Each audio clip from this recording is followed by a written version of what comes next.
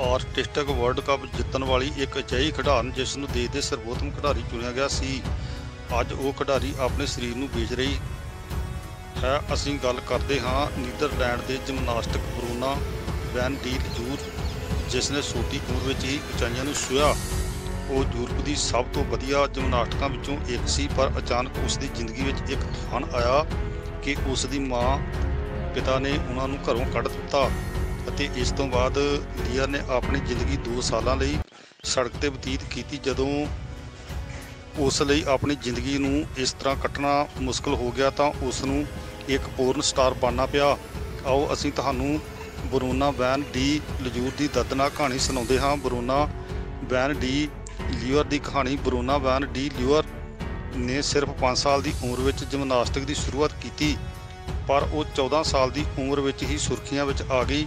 ਬਰੋਨਾ ban ਡੀ ਲਿਊਅਰ European member championship ਵਿੱਚ ਦੋ ਤਗਮੇ ਜਿੱਤੇ। 2 ਸਾਲ ਬਾਅਦ ਉਸਨੇ ਪੰਜਾਬ ਹੋਰ ਯੂਰਪੀਅਨ ਚੈਂਪੀਅਨਸ਼ਿਪ ਤਗਮੇ ਜਿੱਤੇ। ਇਸ ਤੋਂ ਬਾਅਦ ਬਰੋਨਾ ਬੈਨ ਡੀ ਲੀਅਰ ਨੇ ਵਿਸ਼ਵ ਦੇ ਚੈਂਪੀਅਨਸ਼ਿਪ ਵਿੱਚ ਆਪਣਾ ਲੋਹਾ ਮਨਵਾਇਆ।